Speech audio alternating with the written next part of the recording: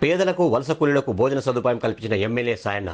Cantonment lockdown సందర్భంగా వలస కూలీలు నిరుపేదలు ఆకలితో ఉండకూడదని కంటోన్మెంట్ ఎమ్మెల్యే సాయన్న ఉచిత భోజన పథకాన్ని ఏర్పాటు చేయించారు. Boinpally market chairman T N Srinivas ప్రారంభించారు. కంటోన్మెంట్ మూడవ వార్డులోని మడ్ఫోర్ట్ హట్స్ పలు ప్రాంతాల్లో పేదలకు ఉండే ప్రాంతంలో ఈ సదుపాయం కల్పించారు.